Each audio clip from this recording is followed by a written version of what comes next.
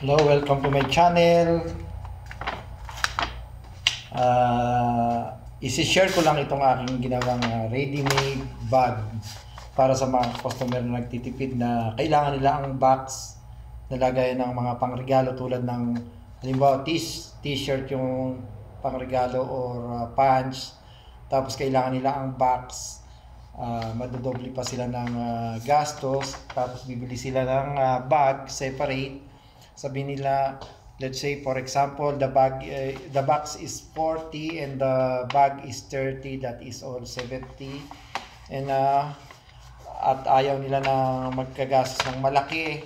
Ito ino-offer ko sa kanila. Ginawa kong uh, ready-made bag na hindi na nila kailangan ang bumibili pa ng separate na bag at hindi na rin nila kailangan bumili ng separate na box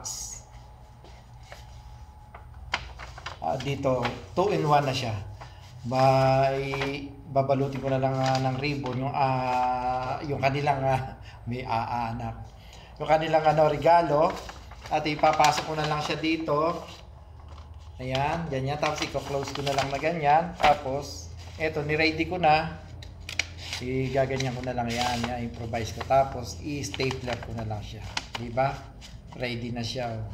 para sa mga nagmamadali mabilisan pa. Tapos, hindi pa, nakasave pa sila at kahit ako, nakasave din kasi ginawa ko lang ito, pambalot, nabenta ko pa siya.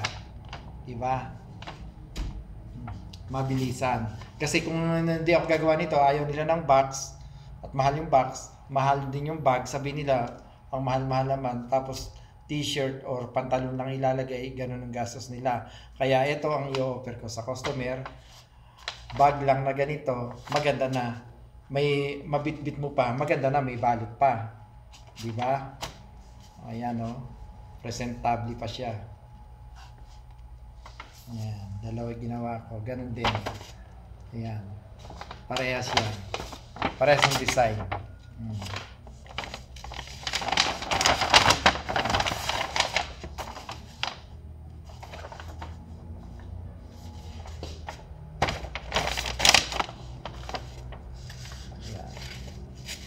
Nag-iisip kasi ko ng paano mabilis yung uh, yung kanilang uh, regalo, paano kung maaayos ng mabilis. Halimbawa, may customer akong uh, binabalot na pagdating nila, eto, yung kanilang regalo, ipapasok mo lang. Tapos, ayan, ready to go na.